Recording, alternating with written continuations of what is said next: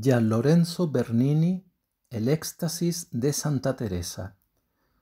La obra más emblemática de Bernini como escultor es la Capilla Cornaro en Santa María de la Vitoria, encargada por el cardenal Federico Cornaro, en la que al observador se le atrapa en medio de un juego de sugestivas relaciones, convirtiéndole en parte constitutiva del hecho artístico, en espectador activo de una representación viviente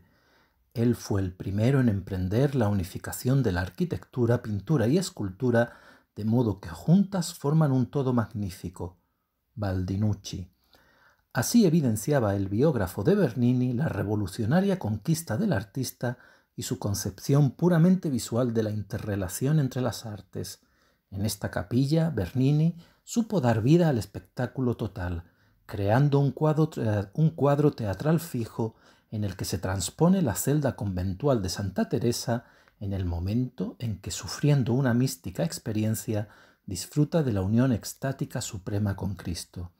De esa visión entre sobrenatural y humana, el observador es testigo gracias a que el convexo edículo arquitectónico de ricos mármoles polícromos y cálido bronce dorado sobre el altar es un bambilinón que reduce la embocadura del escenario.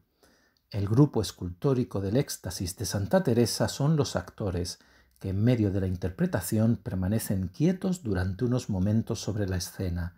La luz natural, procedente de un transparente, que se materializa en un haz de rayos dorados que envuelve a los personajes, suspendidos en medio del aire sobre un cúmulo de nubes, es la gloria o tramoya que, que posibilita el vuelo entre los focos de luz indirecta de la iluminación escénica. El fresco de El Paraíso, pintado por Abatini, invadiendo la estructura arquitectónica, es el decorado escenográfico. Los miembros de la familia Cornaro, asomados a unos balcones laterales, genial transformación de las tradicionales tumbas parietales, son los palcos proscenios del teatro, el mismo en el que sin proponérselo el observador se ha colgado sin pagar entrada. El grupo, que no puede extrapolarse del conjunto de la capilla, de la que constituye el núcleo de máxima tensión,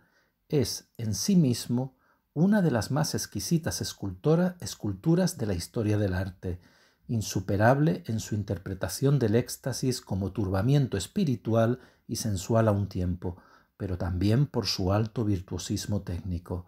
Las palabras con las que la santa describe su experiencia en el libro de su vida encuentran en Bernini al más extraordinario de los traductores por su rara capacidad de fundir tensión espiritual y carga emotiva y sensual, los componentes básicos de la religiosidad barroca, gracias a un conocimiento exhaustivo de las posibilidades expresivas de los materiales y a un dominio insólito de los procedimientos.